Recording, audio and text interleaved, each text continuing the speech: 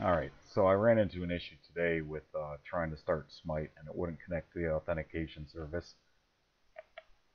Um, I ran the diagnostic and it told me to create a ticket. Obviously it worked just the other day so that's not what I'm going to do. Um, I did already try this and it worked. So one option is reinstalling the game completely which just takes you know an absorbent amount of time to have to re-download a couple gigs. Um, or you can do, well, first, I mean, you may have to reinstall a game anyways. But first, I'd definitely recommend um, making sure that the service is actually running on your computer. So, I re-disabled it, just so you guys can see. I mean, I get the little thumbs down and uh, cannot start Hi-Rez authenticate and update service. And the game really won't go any further. Um, so what you want to do is right click on my computer and then go to manage. And you can also do this from the start button. Um, just click all for Windows 7 of course.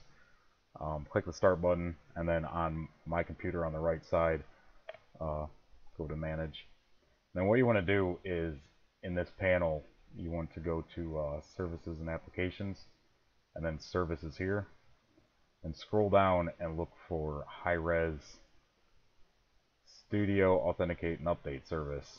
Um, make this a little bit bigger. As you can see mine was disabled for some reason.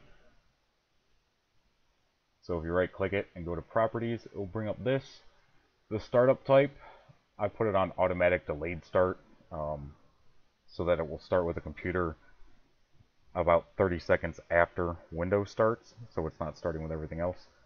Uh, once you click apply, then these buttons will unlock, and then you can click on start. And now the service is started. Uh, you fire up Smite, and it should work. If it doesn't work, I mean, look for other resolutions or reinstall the game, as painful as that is. But, I mean, that worked for me, so hopefully it worked for you guys.